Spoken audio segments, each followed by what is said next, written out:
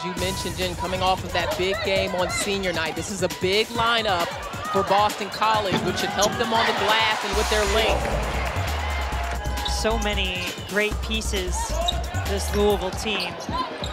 Guy, one of the great pieces for Boston College. Good footwork, good balance. she just used her physical body and knocked her down.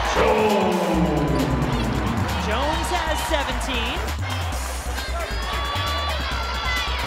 Lindley back into the game for Louisville, crowd favorite. Shook has the three. Through the NCAA tournament and hopefully into April.